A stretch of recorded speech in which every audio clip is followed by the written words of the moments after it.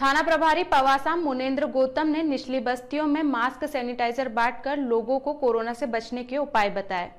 एक बार फिर बढ़ते कोरोना संक्रमण को देखते हुए पुलिस ने एक अभियान शुरू किया है, जिसमें निचली बस्तियों में जाकर लोगों को कोरोना से बचने के उपाय बताए जा रहे हैं। साथ ही मास्क और सैनिटाइजर भी बांटे जा रहे हैं। इसी के चलते पवासा थाना क्षेत्र के प्रभारी मुनेन्द्र गौतम और उनकी टीम द्वारा शंकरपुर क्षेत्र में लोगों को एक साथ खड़ा रखाकर शपथ दिलाने के बाद मास्क और सैनिटाइज बांटे गए।